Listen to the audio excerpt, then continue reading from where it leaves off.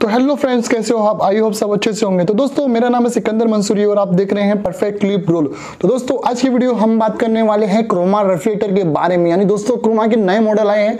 मैं आपको इस वीडियो में दिखाने वाला हूँ। दोस्तों क्रोमा एक टाटा कंपनी है। यानी ये जो रेफ्रिजरेटर है टाटा प्रोडक्ट है। क्रोमा के रेफ्रिजरेटर काफ़ी अच्छे प्राइस में आ रहे हैं, यानी कम बजट में आपको एक बड़ा रेफ्रिजरेटर मिल रहा है इजीली अवेलेबल है। तो दोस्तों, इस वीडियो में मैं आपको 307 लीटर यानी 307 लीटर की कैपेसिटी वाला मॉडल दिखाने वाला हूँ, जो बहुत ही अच्छे प्राइस में आ रहा है। यानी 240 250 लीटर की कैपेसिटी वाले प्राइस में आपको 300 लीटर का फ्रिज मिल रहा है 307 लीटर की कैपेसिटी वाला फ्रिज मिल रहा है। क्रोमा की after sale servicing easily available है, इनकी प्रोडक्ट क्वालिटी काफ़ी अच्छी है। तो दोस्तों, जो मॉडल मैं आपको दिखाने वाला हूँ, उसकी लिंक इस वीडियो की डिस्क्रिप्शन में ये फ्रिज अगर बाय करना होगा तो वीडियो के डिस्क्रिप्शन में जाइए चेक कीजिए। इनके मॉडल नंबर और इसकी बैंक लिंक अवेलेबल है। प्राइस चेक कर सकते हो और बाय करना है तो बाय कर सकते हो। तो दोस्तों, ये है क्रोमा का 307 लीटर की कैपेसिटी वाला रेफ्रिजरेटर टू स्टार रेटिंग के साथ में आ रहा है। 260 यूनिट कंज्यूम करता है पूरे साल भर में।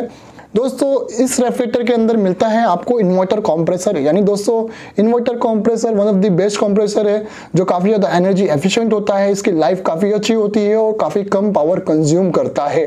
यानी मेंटेनेंस फ्री होता है। मेंटेनेंस वगैरह नहीं आता इन्वर्टर कंप्रेसर में।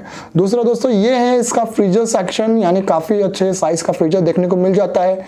Acrylic quality Croma Tata product की काफ़ी शानदार है। यानी बेस्ट एक्रेलिक क्वालिटी आपको इसमें देखने को मिल रही है। मूवेबल आइस मेकर दिया है, जहाँ आप क्यूब्स वगैरह रेडी करना है आपको तो आप क्यूब्स कर सकते हो। ये टेम्परेचर कंट्रोल है दोस्तों फ्रीजर का। यहाँ से आप फ्रीजर का टेम्परेचर कंट्रोल कर सकते हो। मिनिमम करना है मैक्सिमम करना है। आपकी रिक्वायरमेंट के हिसाब से आप टेम्परेचर एडजस्टमेंट कर सकते हो। इसके अंदर दोस्तों, जो इतने भी ग्लास यूज़ किए हैं, काफ़ी अच्छे टफ एंड ग्लास यूज़ किए गए हैं। पॉकेट हैंडल वाला डिज़ाइन पॉकेट हैंडल दिया है दोस्तों, यानी हैंडल नहीं है पॉकेट हैंडल वाला दिया है। तो काफ़ी अच्छा दिखता है, देखने में शानदार है। तो ये है दोस्तों डो सेक्शन ये है इसके सेल्फ जहाँ बड़ी बोटल्स वगैरह रख सकते हो। ये देखिए इसकी क्वालिटी काफ़ी स्टडी है, यानी काफ़ी स्ट्रॉन्ग एक्रेलिक क्वालिटी दी गई है। ये है दोस्तों बड़ी बोतल का रैक, यानी नीचे वाला जो सेल्फ है, बड़ी बोतल का सेल्फ है, जहाँ बड़ी बोतल रख सकते हो। और बॉटम में उसमें सेल्फ वगैरह नहीं आएगा, क्योंकि बिकॉज़ उसका वेजिटेबल बास्केट काफ़ी जम्बो साइज़ का वेजिटेबल बास्केट दिया हुआ है। ये है इसके नंबर ऑफ़ सेल्फ की बात करें तो one two three four shelf मिल जाते हैं, और पांचवा वेजिटेबल के बास्केट वाले के ऊपर जो दिया है, वो भी एक सेल्फ मिल जाता है, यानी पाँच सेल्फ मिल जाते हैं। तो दोस्तों, ये है इसका वेजिटेबल बास्केट मैं आपको ओपन करके दिखाता हूँ, काफ़ी बड़े साइज़ का वेजिटेबल बास्केट दिया हुआ है।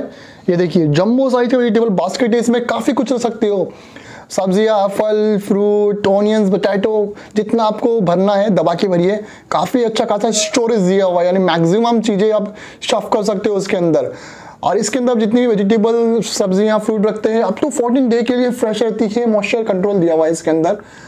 तो यहाँ से मॉइस्चर लेवल आप कंट्रोल करना है तो कंट्रोल कर सकते हो, यहाँ ऑप्शनल है। नहीं तो मीडियम में रखना है तो मीडियम में रख सकते हो।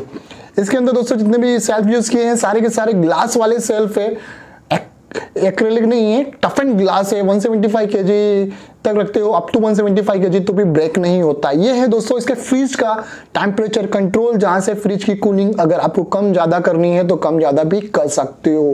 बेसिकली अगर इस रेफ्रिजरेटर की डायमेंशन की बात करें चौड़ाई की बात करें तो 24 इंच का इसका विड्थ है। तो अगर आपका स्पेस कम है तो, तो भी इजीली फिट